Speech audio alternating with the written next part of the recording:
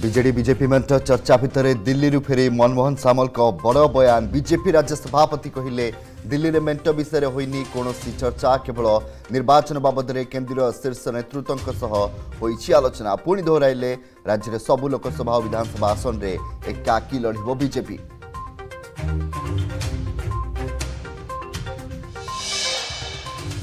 प्रस्तुत हेर्नुभयो रत्नभण्डारे गठित महाप्रभु अ अलङ्कार तालिका आज सुप्रिमकोर्ट अवसरप्राप्त विचारपति जस्टिस अरिजित बसायतको अध्यक्षतार गठित उच्चस्तरीय तदारक कमिटर बैठक परिचालना कमिटर को कार्यकारी सरकार को सरकारको लाग मास हैकर्टको छाटपरे पशला चेता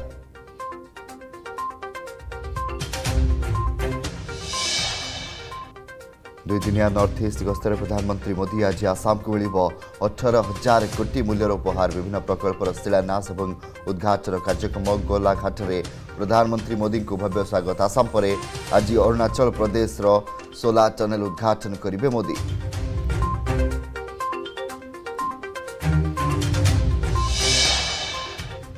চবিশ নির্বাচন প্রথম পর্যায়ে কংগ্রেস প্রার্থী তালিকা জারি আঠটি রাজ্যের অনচাশটি লোকসভা আসন লাগি প্রার্থী না ঘোষণা কেরলর ওয়াইনাডু রাহুল গান্ধী তিরুঅনন্তপুরমু শশী থরুর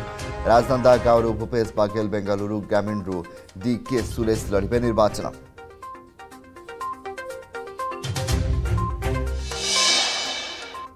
नारी सक्षर मूर्तिमन्त प्रतीक सुधा मूर्ति गरे संसद उच्च सदन को प्रतिनिधित्व इन्फोसिस् फाउँेसन अध्यक्षाले राज्यसभाइ मनोन संघर्षरू शीर्षक समाज साधारण जे अभिनंदन अभिन जमन्त्री कहिले सुधाको उपस्थिति गणतन्त्र र मन्दिरको गरिमय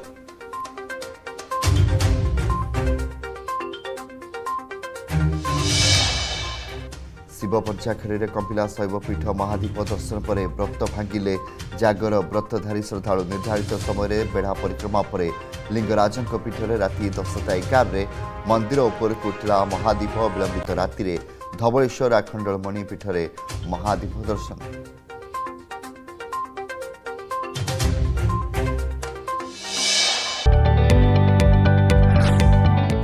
जदि आपण को आम भिडी भल लगा तेब आम चेल्क लाइक सेयार और सब्सक्राइब करने को जमा भी भूलु ना